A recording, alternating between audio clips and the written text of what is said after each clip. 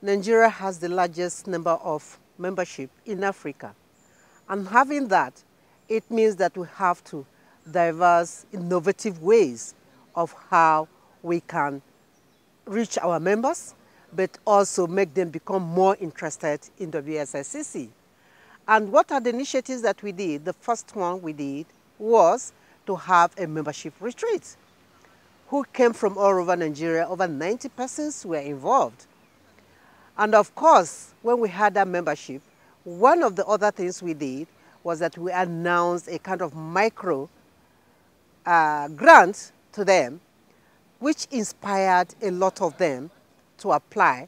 This was not just given on a platter of gold.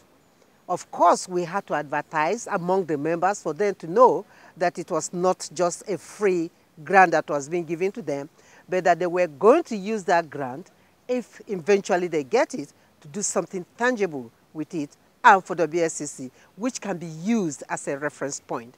So that inspired a lot of the members. And of course we did that.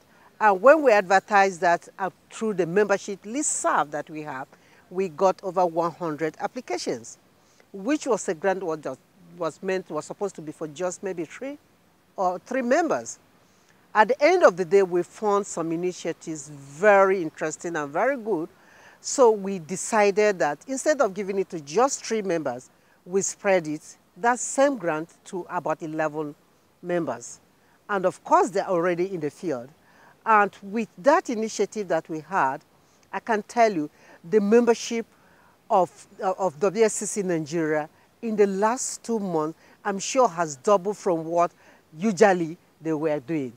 And of course, with that, every member feels belong. We have received some kind of feedback from what we did, and they're very much happy and look forward to having some of these initiatives going forward.